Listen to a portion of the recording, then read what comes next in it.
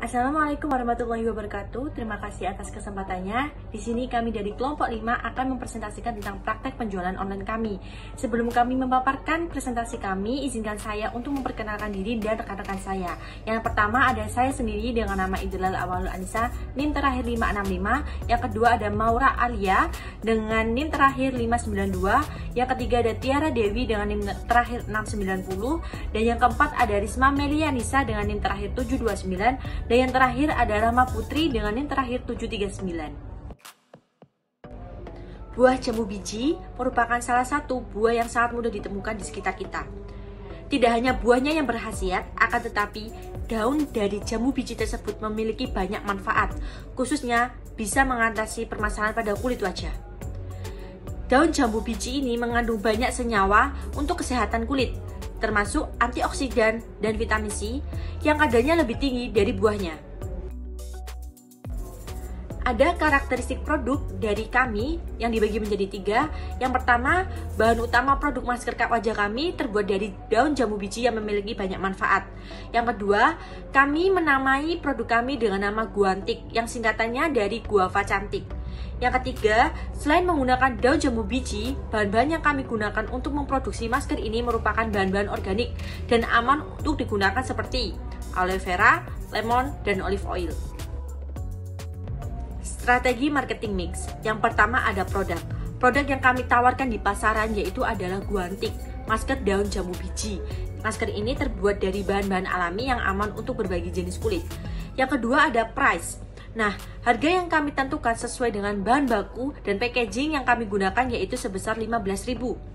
Place, berkaitan dengan tempat, kami memasarkan produk melalui media sosial yakni Instagram dan e-commerce. Salah satu e-commerce yang kami gunakan adalah Shopee. Kami juga memanfaatkan jasa distribusi seperti GNT untuk mengirimkan produk ke pembeli. Nah, apabila lokasi pembeli berada di sekitar lokasi kami, biasanya produk akan diterima pembeli melalui cash on delivery atau COD, maupun jasa kirim barang seperti Grab dan Gojek. Yang keempat, keempat ada promotion. Dari segi promosi, kami menggunakan media sosial seperti Instagram dan WhatsApp. Selain itu, kami juga memanfaatkan e-commerce yaitu seperti Shopee, agar calon konsumen lebih mempercayai toko kami karena keterbatasan ruang gerak di masa pandemi ini. Kami juga aktif melalui promosi ke lingkungan sekitar melalui akun media sosial pribadi masing-masing anggota. Baik, terima kasih atas kesempatannya. Di sini saya akan melanjutkan penjelasan dari rekan saya sebelumnya. Selanjutnya ada people. Untuk people ini yaitu sumber daya manusia yang mana tentang bagaimana cara kita menawarkan produk kita kepada konsumen. Lalu selanjutnya ada proses. Untuk proses ini mengenai bagaimana cara kita melayani konsumen mulai dari order hingga akhirnya mereka mendapatkan produk kita. Lalu yang terakhir ada physical evidence, di mana menjelaskan tentang tampilan fisik tempat penjualan kami seperti di Instagram. Biasanya kita akan membuat konten kreatif yang dapat menarik pelanggan. Selanjutnya ada analisis SWOT. Uh, yang pertama ada strength, di mana uh, guantik mas ini bukan sekedar masker biasa, namun masker ini mengandung banyak vitamin karena diperoleh dari berbagai tambahan ingredients lain, sehingga masker ini merupakan uh, masker organik yang sangat baik digunakan karena tidak mengandung pengawet. Lalu yang kedua ada weakness, di mana kurangnya minat pembeli karena produk yang belum banyak diketahui oleh berbagai kalangan uh, mungkin akan ada beberapa orang yang tidak suka dan tidak percaya dengan manfaat dari produk kami.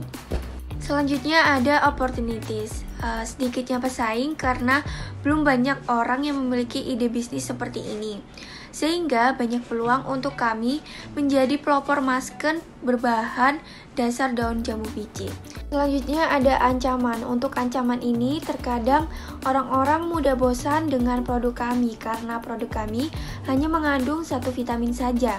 Sehingga jika ini sudah banyak diketahui oleh orang luar, maka akan banyak pesaing yang muncul. Selanjutnya ada strategi STP. Yang pertama ada segmentation. Produk ini diproduksi karena semakin banyak masyarakat yang gemar untuk menjaga kesehatan kulit wajah mereka. Namun, tetap mencari produk dengan harga yang cukup terjangkau. Selain itu, produk kami juga dapat digunakan oleh remaja hingga orang dewasa, baik itu laki-laki ataupun perempuan. Yang kedua ada targeting. Target customer dari produk ini adalah kalangan anak muda karena banyak anak muda zaman sekarang yang gemar memakai masker wajah untuk menjaga kesehatan kulit wajah mereka. Lalu yang terakhir ada positioning. Meskipun saat ini sudah banyak produk masker wajah dengan harga yang cukup terjangkau dan berkualitas baik, produk kami hadir dengan inovasi baru, yaitu terbuat dari bahan alami.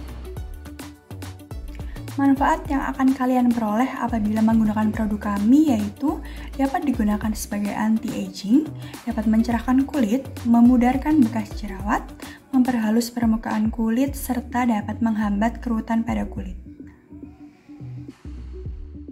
Guantik juga memiliki akun sosial media yaitu Instagram dan kalian bisa mencarinya dengan username guantikcare underscore. Analisa keuangan bisnis, modal kerja. Jumlah tim kami terdapat lima orang dan setiap orang menyumbangkan 50 ribu sehingga total awal modal kami sebanyak 250 ribu. Lalu untuk biaya produksi. Yang pertama terdapat biaya tetap atau fixed cost. Biaya tetap kami terdiri dari baskom plastik seharga 20.000, saringan seharga 20.000, sarung tangan seharga 5.000, centong atau pengaduk seharga 10.000, dan total biaya tetapnya sejumlah 55.000. Dan yang kedua ada biaya variabel atau variable cost. Biaya variabel kami terdiri dari olive oil seharga 17.000, lemon seharga 10.000, aloe vera seharga 25.000, stiker seharga 30.000 dan kemasan seharga 60.000. Sehingga total biaya variabel kami yaitu 142.000 dan untuk total biaya produksi sejumlah 197.000.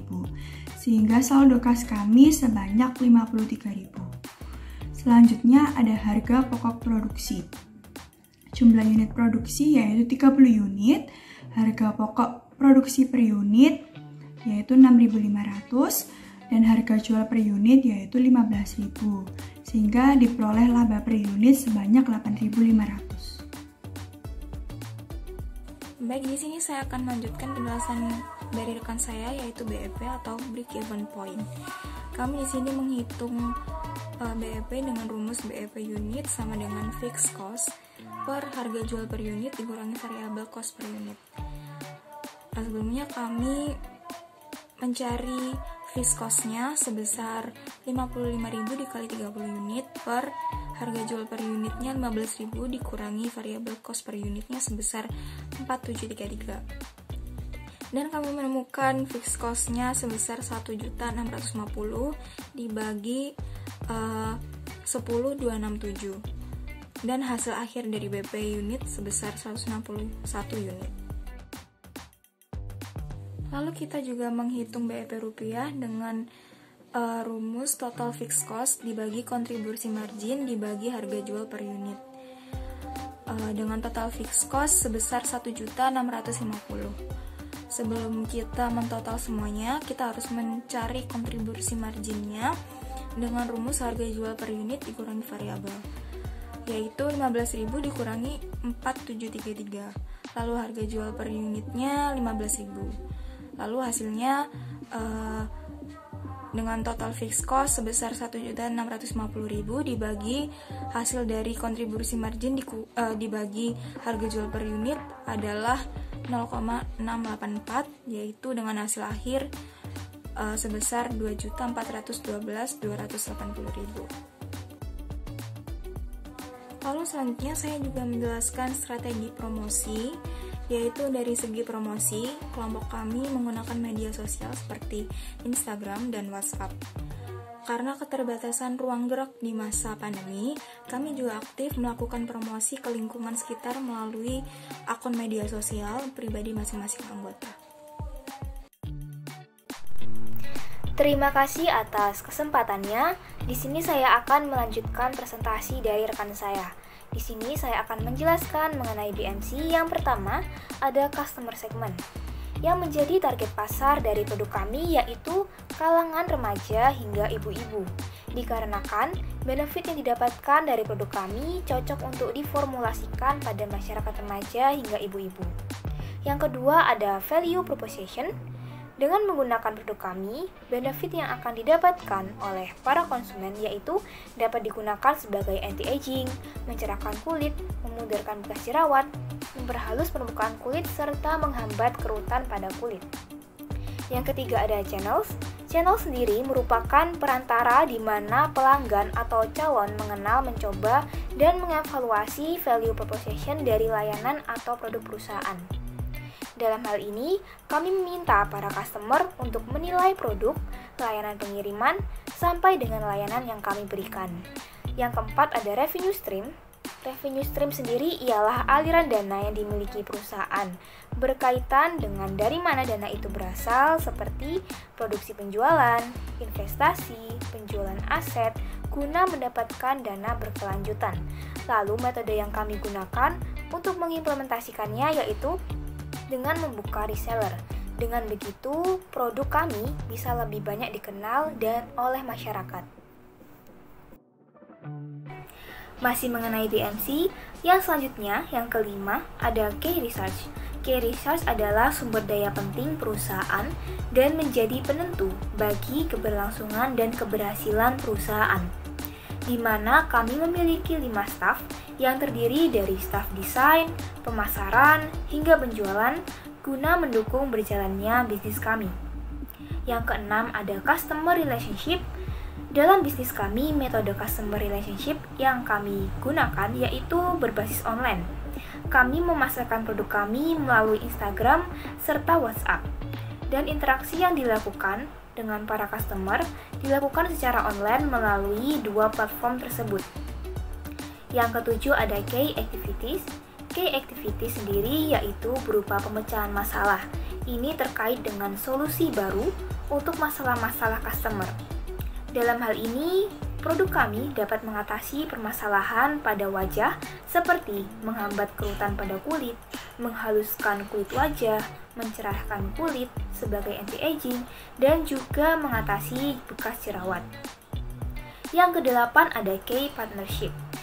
Untuk partnership ini, kami bisa menggunakan cara promote ke teman, keluarga, dan menitipkan ke jasa promote di sosial media yang diharapkan dapat mengoptimalkan proses bisnis kami. Yang terakhir ada cost structure. Cost structure merupakan struktur biaya atau cost structure merupakan uh, biaya yang dikeluarkan rutin. Dalam hal ini, kami melakukan pembiayaan di awal untuk modal, menggunakan uang masing-masing untuk dikeluarkan membeli bahan, alat, dan transportasi. Baik, sekian dari kelompok kami. Terima kasih.